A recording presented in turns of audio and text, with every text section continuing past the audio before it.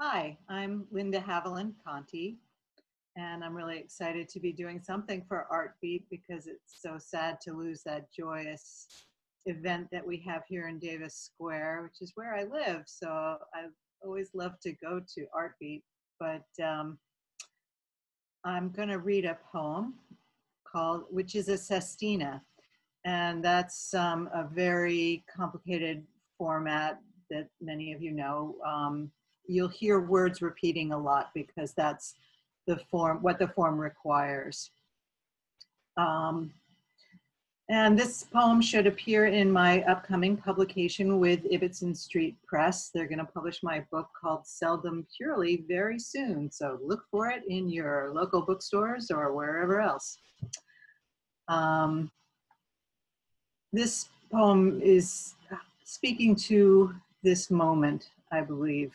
Um, so that's why I wanted to read this one today. It's called Today.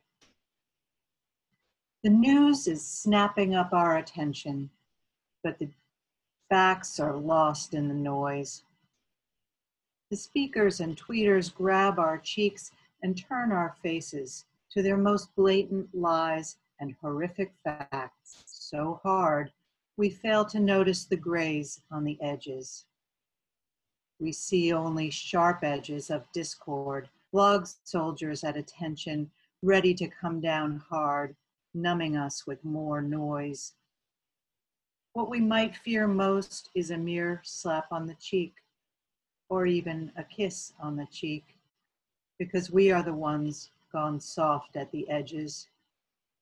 We put on our most determined look and feign attention and click, add our clicks to the noise because our lives are hard. We pound our keyboards hard, but from real action, we turn our cheeks.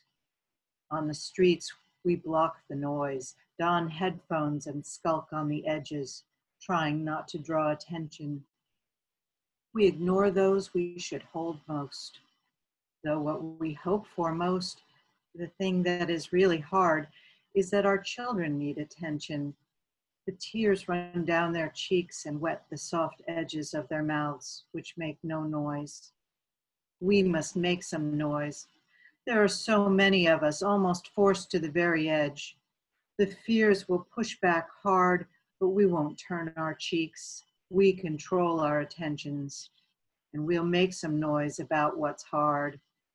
The most meek among us will show their cheek. Those on the edges will have our attention. Thank you. So I hope that's a little rallying cry for you today. Get out and make some noise. And uh, happy Art Beat.